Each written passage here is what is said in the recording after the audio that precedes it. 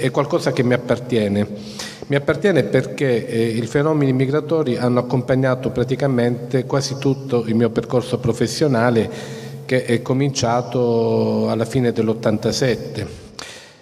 Ehm, perché dico questo? Perché il mio primo incontro, che avrei voluto essere un po' meno sconvolgente con i fenomeni migratori, è avvenuto nel lontano marzo del 1991 quando eh, all'epoca lavoravo mh, a Matera e se qualcuno di voi un po' più adulto se lo ricorda, quello fu l'anno in cui in poche ore, a marzo, arrivarono esattamente 20, circa 25.000 albanesi sulle coste adriatiche.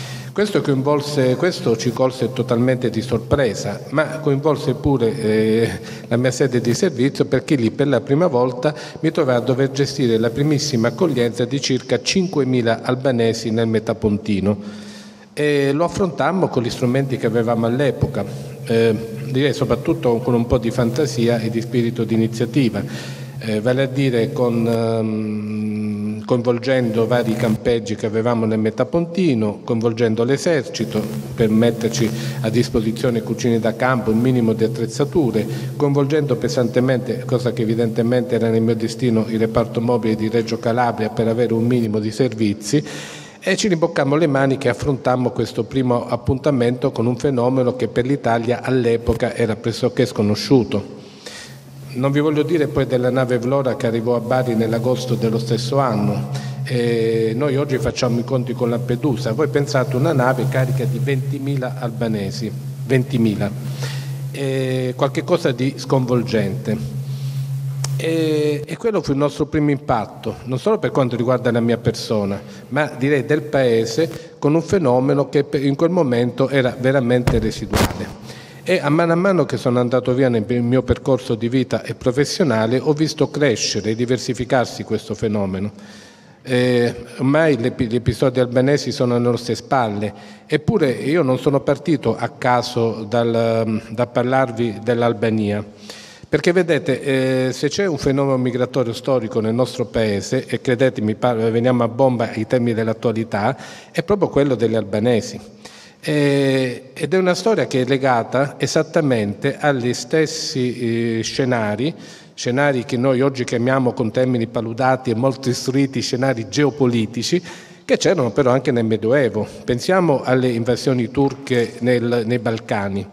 Quello provocò un largo afflusso di migranti, di migranti albanesi, che portavano con loro culture, che portavano con loro anche una, un orientamento religioso diverso, perché chiaramente per complicarci la vita un conto è essere cattolici, un conto è essere ortodossi. Eppure, se questo è stato un fenomeno di emergenza all'epoca, è anche un fenomeno, è una storia di integrazione con la salvaguardia dei propri usi e costumi. Beh, forse voi non ricorderete Clemente XI, un papa evidentemente, quello che però po- eh, pochi ricordano è che questo Clemente XI si chiamava, guardate un po', di cognome Albani, perché lui era un discendente di immigrati albanesi.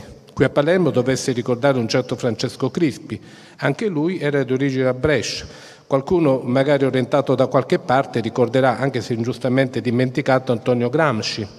Antonio Gramsci era di origine a Brescia, eh, non, eh, qualcun altro forse ricorderà, non, eh, ricorderà eh, Mortati. Mortati è stato un grandissimo giurista di Corigliano Calabro, quindi queste origini dovrebbero ricordarvi qualcosa, ma ricordiamo, eh, ricordiamo, per esempio un altro, un altro esponente della cultura albanese, Rodotà, Rodotà è stato un pelo da diventare addirittura Presidente della Repubblica, un pelo comunque provocò delle polemiche sulle quali non è il caso di, di, di soffermarci. Eh, Cuccia, Enrico Cuccia, era anche lui originario della Sicilia, ma anche lui era Brescia. Questo cosa vuol dire? Vuol dire che il fenomeno migratorio è qualcosa con cui noi esseri umani dobbiamo, abbiamo sempre fatto i conti, sempre. Eh, siamo, ed è un fenomeno insito, credo, nella natura umana che subisce delle accelerazioni in virtù di vari, eh, di vari elementi.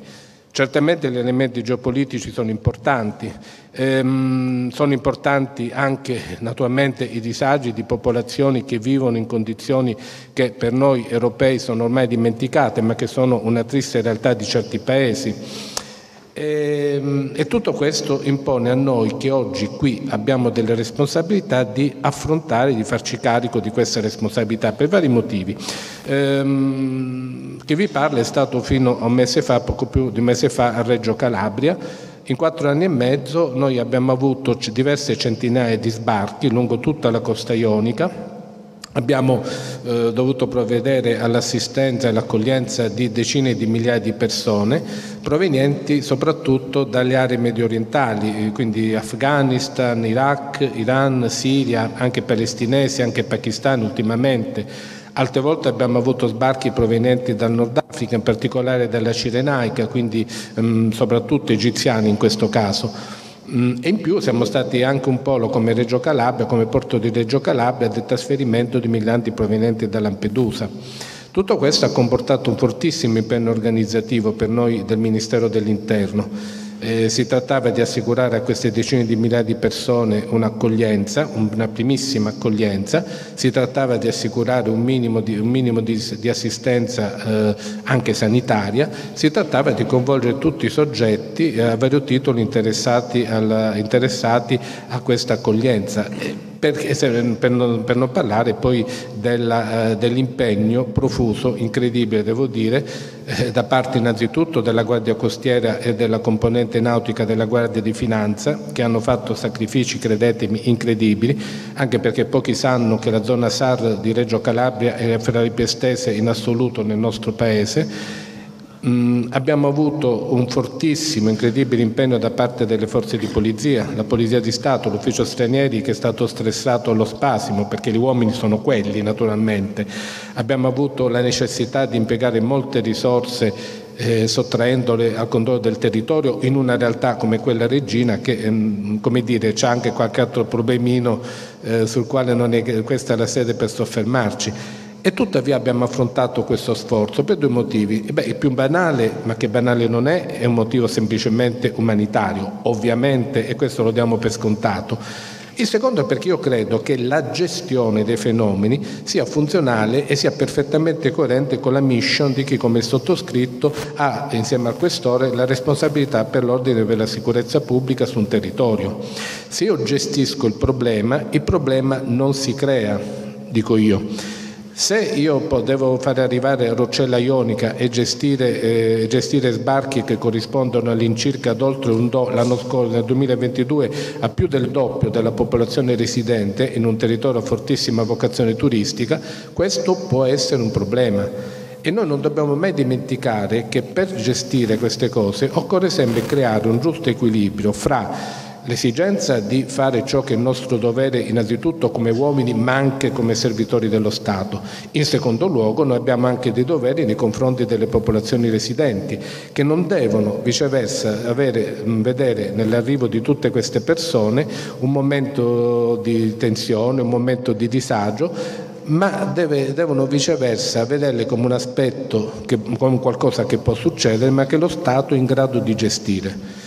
Se facciamo questo, noi facciamo proprio di questi tempi un anno fa una conferenza a Roccella Ionica dove dimostrammo che nonostante l'enorme incremento degli sbarchi, parliamo di un comune che ha dovuto registrare, se non ricordo male, 114 sbarchi eh, nel giro di pochi mesi, però ha avuto per esempio un buon turistico. Diciamo non se ne è accorto nessuno, noi abbiamo gestito contemporaneamente centinaia di arrivi al porto di Roccella Ionica ad agosto e nello stesso tempo a poche centinaia di metri abbiamo anche gestito l'immenso evento di Giovanotti Ecco, io eh, quindi vedo nella gestione di questa primissima accoglienza innanzitutto, eh, ecco, io credo che debbano essere coniugati questi due fattori.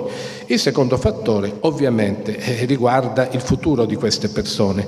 E anche qui io credo che la cosa più importante sia guardare in faccia alla realtà. È vero, questo è un fenomeno sistemico, è un fenomeno eh, che eh, in questo momento, in questi anni, ha avuto un'enorme, un'enorme impennata è un fenomeno che noi che siamo come dire, i, destinatari finali, siamo quelli che poi devono gestire, Ecco, è un fenomeno che noi non possiamo naturalmente governare, dico noi come rappresentanti del governo, rappresentanti del Ministero dell'Interno, possiamo come dire, governare alla partenza, all'origine. Quando arrivano noi dobbiamo fare la nostra parte. E però È anche vero che eh, tutto questo richiama una grossa, eh, un una grossa, la responsabilità di noi, di tutti coloro che hanno responsabilità istituzionali, a prendere atto di quella che è la realtà di questo nostro mondo. Eh, vedete, le persone che arrivano sono un po' la cartina di tornasole di, di, mh, di, ciò che stiamo vivendo in questo periodo. Quando ti arrivano gli afghani, nel momento in cui eh, tornano eh, alla grande i talebani, e beh, tu trovi, eh, tu eh, finisci nella lontana, nel lonta, nella lontana Calabria lontana, per contemplare un paese che eh, vive un momento come quello. Quando tu ti vedi arrivare lì eh, tanti giovani iraniani, e ne ho visti tanti devo dire, e beh, eh, sai che cosa sta succedendo lì? Certo, nel nostro paese il fatto che da un anno, da più di un anno, tanti giovani eh, protestano perché magari non gradiscono vedersi spaccare la testa per qualche capello fuori posto, vedo che non dà grandi reazioni, eppure da un anno ci sono tanti giovani che manifestano coraggiosamente, muoiono, vengono torturati, impiccati alle gru, almeno per quello che mi è dato da vedere. Ma d'altra parte adesso abbiamo la crisi in Palestina e noi questi effetti li avremo. Così come avremo naturalmente, abbiamo visto gli effetti di quello che è successo e sta succedendo in Siria. Nel 2015 ricordo una nave, con 700, una nave della Guardia Costiera con 700 siriani ridotti in condizioni miserevoli a gennaio eh, che venivano da una situazione terribile. Cioè, ecco, quindi noi da un lato dobbiamo pensare a dove vengono e non dimentichiamo tutto quello che sta succedendo in Africa. È vero, c'è un discorso legato alla, alla, questione, alla questione, demografica. Certamente l'Europa risente di un calo, di un inverno demografico particolarmente avvertito, eh, avvertito qui in Italia. Ed è altrettanto vero che noi abbiamo comunque e sappiamo che abbiamo bisogno di eh, persone che vengono ad aiutare il nostro Paese, non c'è dubbio. Ecco ancora una volta l'esigenza di gestire, gestire la migrazione, dare una prospettiva dare cioè la possibilità di conciliare da un lato gli interessi più che legittimi nel nostro Paese di, eh, di poter eh, trovare nell'immigrazione un'opportunità, ma nello stesso tempo dare opportunità alle persone che vengono da paesi meno fortunati del nostro e da continenti meno fortunati del nostro. Ehm, dobbiamo in altre parole gestire con razionalità, con ordine e soprattutto fare in maniera tale che si possano conciliare queste esigenze che non sono opposte. Io credo che bisogna dare il massimo contributo perché le, queste esigenze, che troppo spesso vediamo come contrapposte, possano essere esigenze coerenti anche con quelle nostre. Chiunque ragiona con imprenditori, chiunque ragiona con il mondo economico, e questo mi capita spessissimo, sa quante difficoltà ci sono ad esempio a trovare operatore, a trovare manodopera. E, ehm, se si crea questo interscambio, se si eh, libera questo, mh, eh, se si libera questo momento dalla, dalle inutili e sterili ideologie, inutili e sterili polemiche e si affronta con quello che ci ha dato il buon Dio, cioè la razionalità, io penso che si possa trovare il modo per conciliare queste esigenze. Certamente non si può conciliare questa esigenza continuando a vedere arrivare queste barche in quelle condizioni disperate. Non si, posso, non si può pensare che questo, si possa arrivare a questo continuando a tollerare che delle persone speculino sulla, uh, sulle queste tragedie. Eh, la polizia lodevolmente a, a Roccella ha arrestato numerosi scafisti eh, non vi voglio dire quanto spende ciascuna di queste persone per potersi imbarcare in, in, questi, in queste piccole imbarcazioni vuote dentro, stipati come sardine. Sono cifre veramente importanti e con quelle stesse cifre loro magari potrebbero arrivare comodamente in aereo nel nostro paese. E questo noi lo dobbiamo contrastare con la massima energia. È inutile, cioè non dobbiamo pensare che questo che possa diventare sistemico il fenomeno del, del, del, eh, del, trasferimento via mare in queste condizioni, è una cosa intollerabile. Intollerabile perché noi arricchiamo delle organizzazioni che ci sono per esempio in Turchia e su cui si sta lavorando naturalmente sul piano della polizia giudiziaria. Intollerabile perché ovviamente non si può immaginare di continuare a vedere come una breve di cronaca la morte di decine e centinaia di persone noi, sono numeri che noi non conosciamo, Però sono situazioni che non possono essere consentite.